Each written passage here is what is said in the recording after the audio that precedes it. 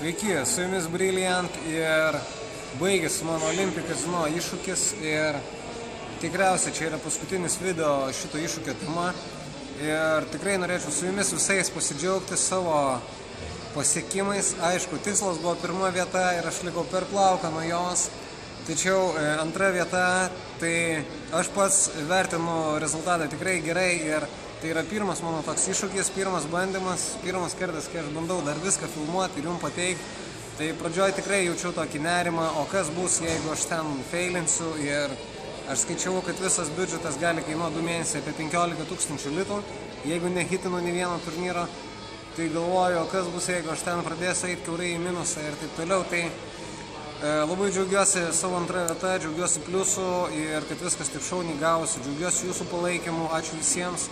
Ir dabar visus, žinau, kad visus, visus labai interesuoja skaičiai, tai kaip man čia viskas pavyko. Tai tiesiog čia yra, vat, e, aš turiu visus savo turnyrus, kiek sužaista, kiek sumokėta, kiek laimėta, kokios vietos ir taip toliau. Ir pa, e, išvesti yra tam tikri rodikliai, kurie, kuriuos, sakysim, pagal kuriuos yra vertinamas pokerio žaidimas ir mes pabandysim dabar juos e, apžvelgti. Vėlgi, aš netmetu, kad gali būti ten kokia nors klaida 100 litų ar 200 litų kažkur pamesta, ar pliusas ar minusas, bet manau, kad čia maždaug viskas yra teisingai, nes tengiausi po kiekvieno turnyro užfiksuoti, kiek sumokėjau, kiek laimėjau ir paskutinį mėnesį, balandį, net fiksuodavau, kiek valandų žaidžiau. Pavyzdžiui, vat, žaista 100 plus 100 turnyras, sumokėta 200 litų, pliusas 649, žaista 6,5 valandos. Ir taip toliau. Ir yra turnyrų, kur iš vis nežaidžiau, nes buvo satelitai arba tiesiog ilsėdausi. Yra turnyrų, kur iškrisdavau greitai, po valandos, po dviejų, po pusantros. Yra, kur žaisdavau ir ilgai, va, 7 valandas ar 10 valandų. Tai e, čia yra grafikas mano viso šito žaidimo. Ir, e, nu, matosi, kad reiškia, pradžioje prasidėjo į, į minusą, buvo pirmas mažas hitas. Ir po to vėl minusas iki to didesnio iššovimo, kur ten su Kazikonovu pasidalinom Jis pirmą, aš antrą vietas, tai ne, nepasidalino, mūsų sužaidė normaliai. E, iki antros vietos pralaimėjau 4000 litų. Tai e, grafikas visai, visai fainas, pabaiga visai smagi, tokia iššovimas. E, ir labai patinka, kad grafikas toks, nu, sakyčiau, gana, gana nuosekliai kyla į viršų, tai viskas kaip ir su juo tvarkoja, atrodo, kad galima pliusuoti, galima įveikti tos žaidimus. Ir pas didžiausias, vat, e, nuopolis pačioje pabaigoje yra, čia yra minus beveik 2000 litų, tai čia buvo main eventą žaista 500 litų, kuri kūlerinausi du kartus, tai tursime vieną kartą 500 litų sumokėjau, dar antrą kartą sumokėjau 500 litų. Ir taip pat prieš tai 350 e, frizautas, Olibet, kurį irgi dariau rentry, tai gavosi du dideli turai, abiejose padariau rentry ir neužtrukau ilgiau valandos. Tai į Vat jie labai pablogino rezultatą, tačiau biškiai ištaisė dar paskutinis laimėjimas. Tai baigiau visą seriją, e, jeigu šnekant dabar apie gryną pelną, tai grynas pelnas yra 6224 litai suskaičiuota. Kovą uždirbau, e, praeitą kartą e, rašiau video, kad kova buvo pelnas 1010, bet dabar pasižiūrėjau, kad buvo 40 per daug prirašyta pelno, nepriskaičiau Rebajaus. Ir Tiesiog tai iš tikro kovo yra pliusas 9,70, įmokų yra beveik už 4 tūkstančius ir ROI yra 24,6 procentų. E, balandį pelnas siekia 5254 litus, tai daugiau negu iš viso sumokėta bainų ir ROI viršo 100 procentų. Tai net atmetus tai, kad nepasisekė tuose pačiuose brangiausiuose ir padariau dvigubus e, bainus ir pralošiau, vis tiek palaikiau labai labai gerą ROI ir labai labai, nu, esu patenkintas. Tai išvedus bendrą rezultatą iš viso pliusą 6, 2, 2, 4 ir ROI palaikant beveik 70 procentų. Tai, tarsi pats žaidimas labai labai, aš jaučiau, kaip jisai gerėjo į pabaigą ir manau, kad rezultatai sistemingai atspindi gerėjimo tendenciją, nes pati pradžia tai buvo tikrai, atėjau toks atsipūtęs, galvojau, kad čia bus easy money ir kad per mėnesį viską laimėsiu, tačiau Pirmas dvi savaitės parodė, kad turėčiau rimčiau žiūrėti žaidimą, taisyti klaidas ir panašus dalykai. Tai daug dirbau, daug analizavausi, struktūras, analizavau žaidėjus ir pabaigoje jau turbūt tas pradėjo ryškėti. Tai dabar e, klausimas yra toks, ar apsimoka žaisti ar ne. Tai aš pabandžiau paskaičiuoti, kiek reiškia aš uždirbau per turnyrą. Tai per turnyrą aš uždirbau 104 litus, 105 litus. Tai kaip ir nėra mažai, aš manau, per turą. Ir balandį aš pabandžiau paskaičiuoti savo valandinį. Reiškia, aš balandį uždirbau va tokią sumą pinigų, žaidžiu 80 valandų iš viso. Tai per valandą gausi 65,7 litai uždarbis. Pelnas.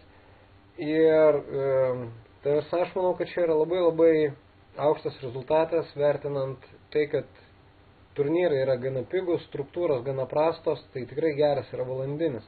Aišku, jeigu mes lyginsim, kiek uždirba pokerio žaidėjai internete aukščiausiose lygiuose, tai bus ašaros, tačiau e, 65 litai per valandą, tai Lietuvoje tikrai gali gyventi ir gali gerai gyventi. Tai reiškia, toks yra bendras rezultatas. Septyni, šiam septyni e, procentai ROI ir 104 litai nuo turo. Dėl to valandinio, tai aš jo čia labai nenorėčiau sureikšmint, nes skaičiuota tik vienas mėnesis ir reiktų skaičiuoti kitą, bet balandį dar neskaičiau, kiek žaidžiau. Tai aš jį išvadžiau tiesiog, kad buvo toks klausimas, kiek gautas litų per valandą. Tai vat man gausi paskutinį mėnesį 65 litai per valandą. E, ir kas dar yra, tai reitingė laimėjau antrą vietą, už ką gavau papildomai 1000 litų ir dar papildomai 300 litų laimėjau reitinginiam turnyrą, kuris yra nemokamas frirolas toks. Tai dar papildomai, dėl to, kad gerai pasirodžiau, dar papildomai gavau 1300 litų, kas mano roj dar pakėlė 14 procentų. Ir bendras pelnas gavosi 7524 litai. ROI bendras 81 procentas, tai kai mes pačioje pradžioje prieš iššūkį šnekėjom su Jurgiu, su Mextrex, tai šnekėjom apie tai, kad galima pasistengus palaikyti 100 procentų, tai beveik pavyko, tai esu tikrai patenkintas to 81 procentų ROI. Bendras pliusas 7, 5, 2, 4, tai irgi kaip ir tikrai neblogai, yra beveik 4000 litų per mėnesį Pliusas skiriant 4 valandas per dieną žaidimui, 5 valandas per savaitę žaisti, 4 valandas vidutiniškai turnyras average'as. Ir jau su visais bonusais, su viskuo gavosi, kad aš nuo vieno turnyro, kuris vidutiniškai trunka 4 valandas, tai uždirbdavau 174 litus. Vėl grįžkim čia. Šiandien yra gegužės pirmoji mano vardadienis, tai smagios nuotaikos ir pirma diena, kai aš esu laisvas. Reiškia, pirma diena, kai jau pasibaigia mano iššūkiai, kai nebereikia žaisti. Ir po penkių dienų išvažiuoju į Saulėtąją Maltą, ilsėtis su dviem nuostabiom merginom. Ir turėsiu daug laiko polisui, ten žaisiu pokerį savaime, aišku. Ir kas dar labai svarbu, kad e, reikia pagalvoti apie ateities planus, ką toliau norėčiau veikti. Ir labai patiko daryti tai, ką dariau bet kad e, filmavau, tada jaučiu didesnį atsakomybę, labiau stengiuosi, didesnį discipliną. Todėl norėčiau vėl išsikelti kažkokį tai naują iššūkį, kažką kito pabandyti įveikti, ar galbūt kažkokią naują pokerio rūšį, ar gal grįžti į tą patį internetą, ar gyvai kažkur nuvažiuoti.